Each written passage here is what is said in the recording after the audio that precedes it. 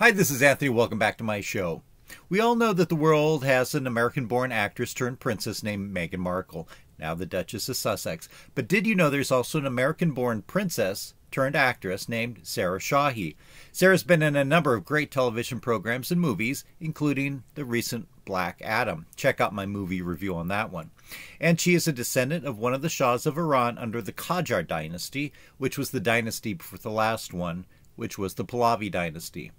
So, which one of these princesses do you think is the better actress? Leave your comment in the comment section below and please hit the like button and please subscribe to my channel. Also, check out my other videos that range from movie and book reviews to looking at unsolved mysteries to personal finance and stock investing. Thanks so much.